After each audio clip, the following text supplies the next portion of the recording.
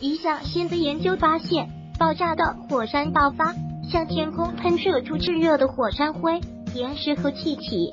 可能是神秘的火星岩石形成的来源。这项研究的作者说，新的发现可能会增加科学家对火星内部及其过去可能存在的可居住性的理解。Medusa f o s s i l 是火星赤道附近一块巨大而不寻常的软岩矿床，有起伏的山丘和陡峭的台地。科学家们在上世纪六十年代首次观测到美国宇航局的水手号 Mariner 飞船上的水母，Medusa 但对它是如何形成的感到困惑。现在新的研究表明，这个红色星球的形成是三十多亿年前火山爆发时沉积下来的。该研究报告的作者称，该岩层的体积约为美国大陆的五分之一，比地球上最大的爆炸火山矿床还要大一百倍，是太阳系中已知的最大的爆炸火山矿床。火星的形成标志着火星历史上的一个转折点。火山爆发可能将大量改变气候的气体喷入火星大气层，并将足够的水喷射到超过九厘米四英寸厚的全球海洋中，覆盖火星。在喷发过程中，大量的温室气体被释放出来，这些气体可能会使火星表面变暖，使水在其表面保持液态。但是有毒的火山气体，如硫化氢和二氧化硫，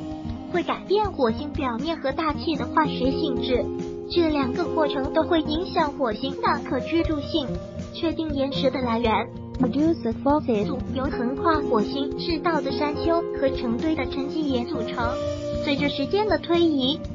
当岩石尘埃和碎片在行星表面和水泥上堆积时，沉积岩就形成了。几十年来，科学家们已经知道了水母的存在，但不确定是风、水、冰还是火山爆发在那里沉积了岩石碎片。以前对火星表面的雷达测量显示，火星表面有一种不寻常的成分，但科学家们无法确定它是由多孔的岩石还是岩石和冰的混合物构成的。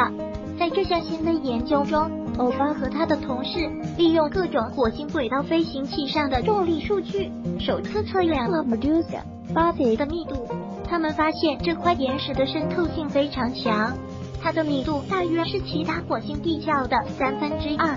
还结合了雷达和引力数据，证明水母的密度不能用冰的存在来解释，因为冰的密度比岩石要小得多。研究人员说，由于岩石的多孔性，它必须是由火山爆发形成的。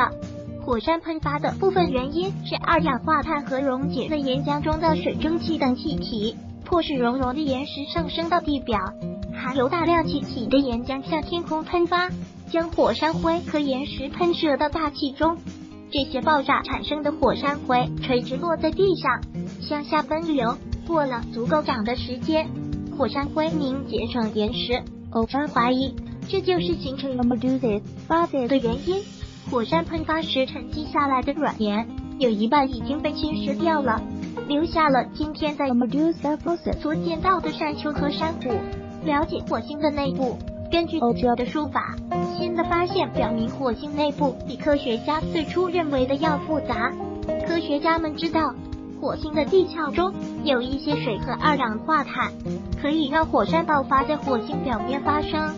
但是火星的内部需要大量的挥发性气体，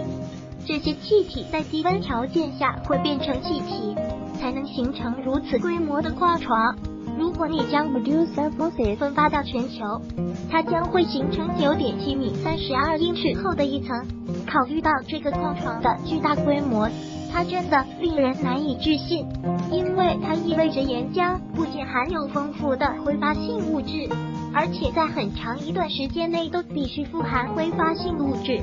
这项新研究显示了重力测量在解释火星岩石记录方面的承诺。未来，此类研究将有助于分地球上地壳的冰、沉积物和火成岩。